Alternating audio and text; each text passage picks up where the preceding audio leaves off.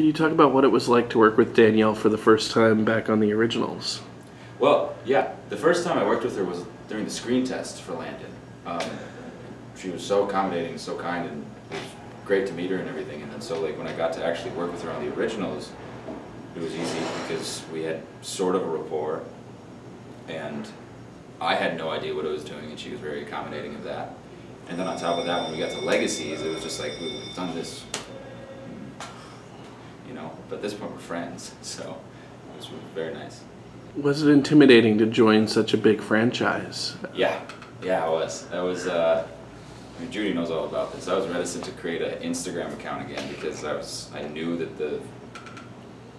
No disrespect to them, but they are very dedicated, um, and it's a lot of responsibility taking on this thing that people love so much.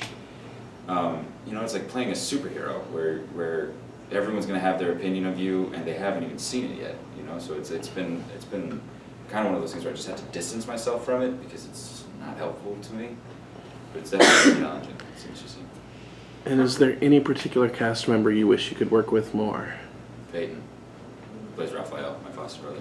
I just I really like him as a person, and I really like the way he works, and I I just want more Landon and Rafael scenes because I think their their dynamic is really cool. You know, because brother thing. Can you talk about Landon's reaction the first time he sees Hope using powers? Um, yeah, uh, that was so. The first time he sees it is at the church, right, When she opens Yeah. the doors with her mind, and that that was kind of like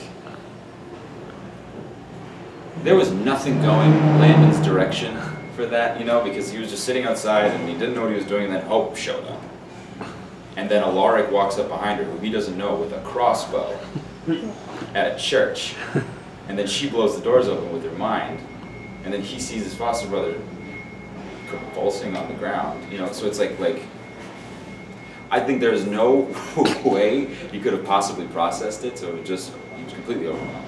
There's no way that he can't understand any of that. He doesn't. He didn't know it existed.